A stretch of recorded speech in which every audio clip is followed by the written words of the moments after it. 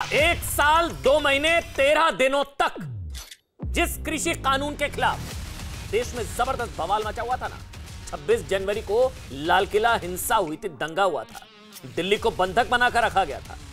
दुनिया में भारत के खिलाफ दुष्प्रचार का एजेंडा चलाया गया था, दुकानें खोल ली गई थी।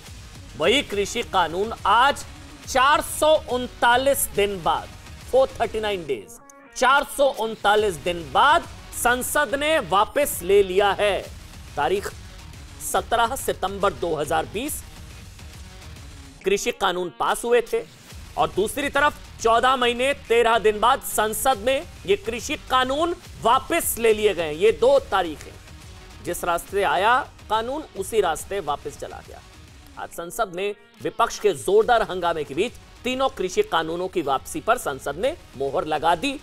लेकिन कृषि बिल से शुरू किसान आंदोलन अभी भी खत्म नहीं हुआ है। अब किसानों की मांग है कि एमएसपी यानी कि फ़सलों के समर्थन, न्यूनतम समर्थन मूल्य पर कानून लाया जाए। राकेश टिकैत ने धमकी दिया कि सरकार को 26 जनवरी से पहले यह मुद्दा निपटाना होगा, नहीं तो पिछले साल की तरह इस बार भी 26 जनवरी को ट्रैक्टर मार्च होगा। वो धमकी दे रहे हैं एक बार फिर से।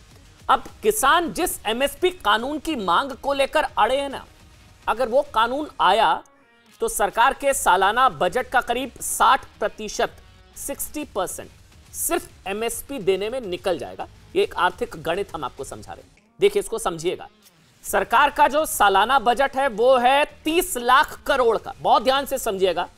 30 लाख करोड़ का साल का, सरकार का सालाना बजट है।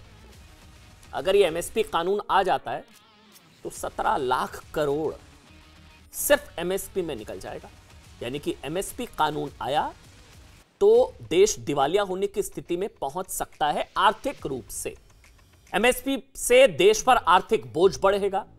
विदेश से अनाज आयात बढ़ सकता है, क्योंकि जब कानूनी बाध्यता होगी कि इससे कम में खरीदा नहीं जा सकता और उससे कम में खरीदने पर सजा होगी तो व्यापारी किसानों से नहीं खरीदेगा। आयात होगा इंपोर्ट होगा। महँगाई बढ़ने का खतरा, महँगाई बढ़ सकती है। मतलब आप समझिए और गरीब होने का खतरा। बाज़ार पूरी तरह से अस्थिर हो सकता है। लेकिन एमएसपी की मांग की जा रही है। ऑपोजिशन की तरफ़ से भी, किसानों की तरफ़ से भी, कांग्रेस पार्टी की तरफ़ से भी इसको लेकर अब हंगामा भी हुआ है। लेकिन सवाल यह है कि जिस कानून को लाने के बारे में नेहरू से लेकर इंदिरा और फिर मनमोहन सरकार तक नहीं सोच पाई, सत्तर साल तक उसको नहीं लाया गया। कोई सरकार नहीं लेकर आई।